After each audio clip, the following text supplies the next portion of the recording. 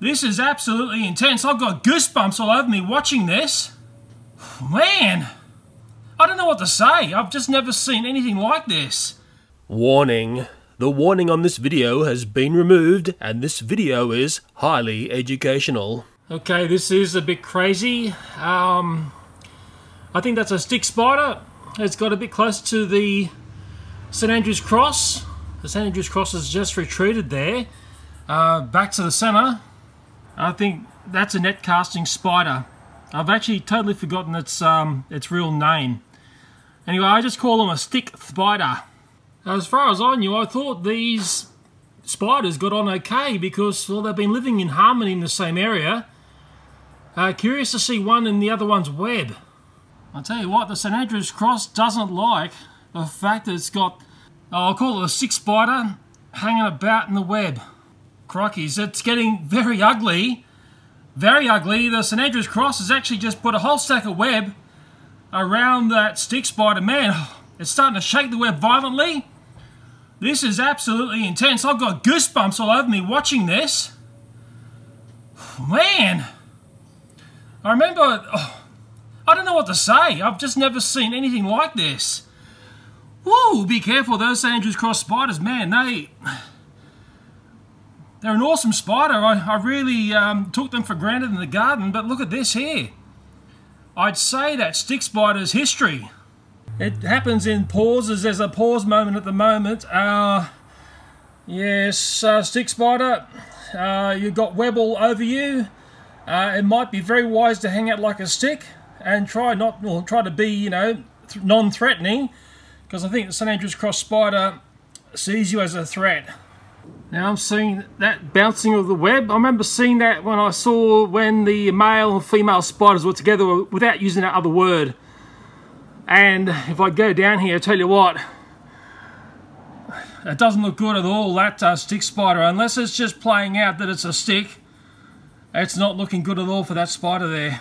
what's got me a bit confused is why the stick spider drifted up to that area there. Where it was living, it was actually living down in this section down here, had its own little zone down here, uh, but it's decided to come up to, into the St Andrew's Cross's realm, and it may have paid the penalty for doing so. This is about 15 minutes later, and uh, I'd probably be giving this to the St Andrew's Cross because I haven't seen the stick spider uh, really move from its last position. I think that St Andrew's Cross has got the advantage on this. And one of these things, there's a lot of standoff and waiting, nothing seems to happen, and it bounces into action almost from nothing. Well, I'm seeing more action from the St Andrew's Cross and no action from the stick spider. I'd say it's um, just a matter of time. To be honest here, part of the St Andrew's Cross web has collapsed. I'm seeing all the right moves coming from the St Andrew's Cross and uh, basically nothing from the stick. I really think the St Andrew's Cross has got this one in the bag. I might be totally wrong. The stick spider might be just playing out as a stick. But, um, hey, every spider's got to eat, and looks like Spidey'd like to eat Spidey. I'm just, whoa, I'm just watching. Oh, my goodness! Oh, the St Andrew's Cross is just on the bolt up north there. And the stick spider, man, that came out of nowhere. The stick spider, it's really just all caught up on the web. And I think if you're in that in that situation, I don't think there's much hope for you. Watch out, St Andrew's Cross is headed down south again. Yes, it's playing a bit of uh, a game there. It's tasting its little feet. Now, I've forgotten what that really means. I remember people on the Redback Spider Tank spoke about that. I, oh, man, you just don't know what the spider's going to do. It's one of those things you want to look away, but you can't look away because you don't know what's going to happen next. And the stick is still acting like a stick. Yeah, the St Andrew's Cross still in that, I call it commanding position there, uh, just above the stick spider. Uh, but there's flashes of, of activity here that sort of happen from nothing. It's all very quiet and seemingly nothing happens and then bang, something jumps on top of something else. And again, the St Andrew's Cross is right down there touching that stick spider. It's really, really inquisitive about what's going on here. But it's a bit standoffish as well. Maybe acting like a stick confuses that St Andrew's Cross. I think it's going to take a little bit of time to resolve here. I'll go away for a while, let these spiders do what they do. And who knows, a stick spider, being like a stick, might be the perfect deterrent in getting away from the St Andrew's Cross.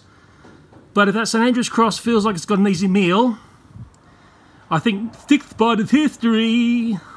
Okay, there's a massive sale, mate, going on at the moment. Could go on for a long period of time, so I'll put a camera on here so when that sale, mate, breaks, hopefully I'll capture the action. Okay, we're going to do something that I don't often do on YouTube, and that is a cliffhanger video. I know lots of spider experts look at my spider videos and they can tell me what's going to happen from here on. How well do you know your spiders? Is the stick spider, in playing out like a stick, going to win here? Or is the St. Andrew's cross spider going to weave some web magic and snare that stick spider as a wonderful dinner? So if you can lay a comment on the video, you can tell me an outcome. You may be creative in what you say, but what I capture on video from this point on gets a little bit complicated. So yes, who is going to have who for dinner here? Please let me know.